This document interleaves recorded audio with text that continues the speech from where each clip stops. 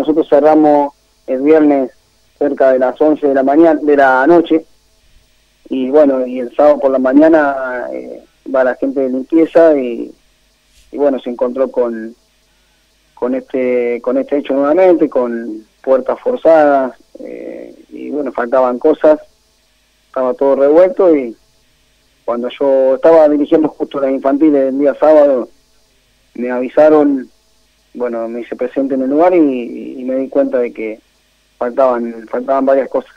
¿Cuál fue el faltante, Bocha? Eh, principalmente la, una computadora Nodu, eh, esas grandes, eh, un amplificador de sonido y, y bueno, después eh, dinero, la agenda y bueno, pues esas cositas tendrá y mouse y estos accesorios que, que tienen las computadoras. ¿Evaluaste la cantidad de dinero o no?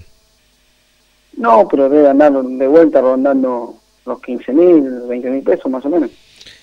Y además hicieron daños en el interior, ¿no? Claro, porque abajo hay una obra en construcción, se está remodelando la, la sede del club eh, bueno, hay, creo que hay una pasada ahí, entonces seguramente han entrado por ese sector y bueno, arriba sí portaron, hay dos puertas, hay una puerta más grande que es donde se, es la puerta eh, de salida de emergencia, eh, por ahí la forzaron y, bueno, ingresaron, ingresaron al, gimnasio ya y, ahí se apropiaron de todo lo demás, incluso la, la estaba guardadita junto con dinero eh, bajo un mostrador con llave. Pero también rompieron todas esas puertas que están debajo del mostrador y bueno, hasta que encontraron la computadora y, y hay parte, bueno, había algo de dinero, de cuotas que habían cobrado. Eh, Ariel, hay un detalle que no es menor. Eh, este edificio del Deportivo Montocar está ah, pegado pared con pared con la con el edificio de la policía.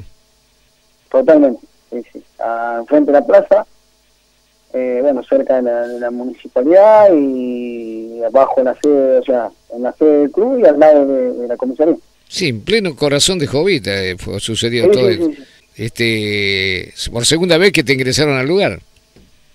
Sí, sí, la verdad que sí. Vos sabés, Dani, vos me conocés, somos gente laburante, eh, tratamos de, de luchar la día a día, no es fácil mantener un gimnasio, hay mucho mucha inversión este, un esfuerzo diario, pero bueno, se dedica muchas horas y, y por ahí, más allá de que tenga mucho valor o no poco valor, son cosas de uno y uno está acostumbrado a vivir tranquilo y que cada uno eh, luche por lo suyo, no que se, se dueñe de lo ajeno, ¿verdad?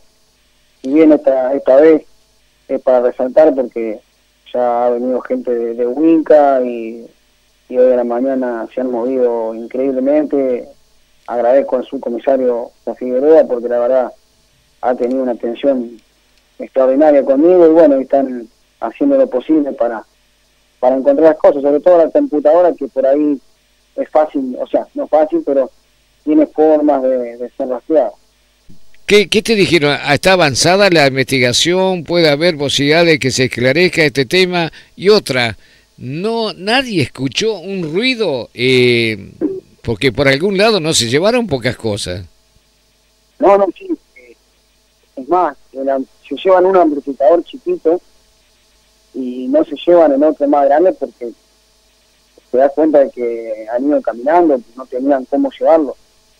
E incluso los televisores, hay dos televisores en el gimnasio y no, no se los llevaron por el solo hecho de que eh, no han tenido cómo llevárselo pero no nadie escuchó nada y el tema de las cámaras eh, eso lo manejé, lo maneja el municipio y, y bueno la, policía me dijo que estaban en contacto con, con el municipio revisando las cámaras entre entre esos horarios